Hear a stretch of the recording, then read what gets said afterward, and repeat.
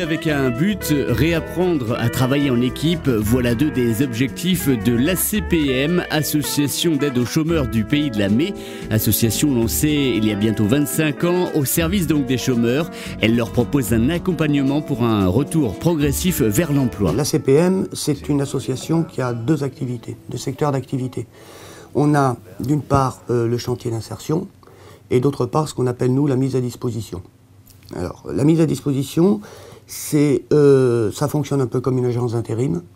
Ce sont des gens qui font appel à nous pour des services.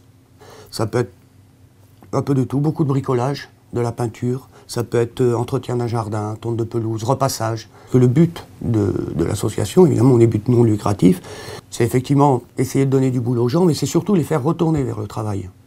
Là, on touche environ une centaine de personnes par an.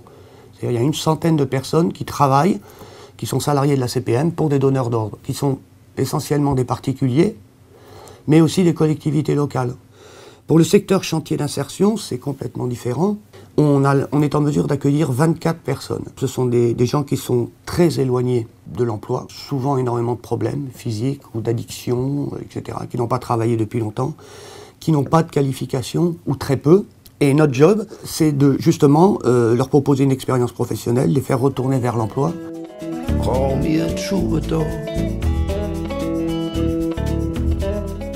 Euh, j'ai commencé, quand j'ai commencé dans, dans, le travail, j'étais en forêt. Donc euh, c'est la première fois que je suis en maçonnerie. Ça va. À part que c'est fatigant, mais ça va.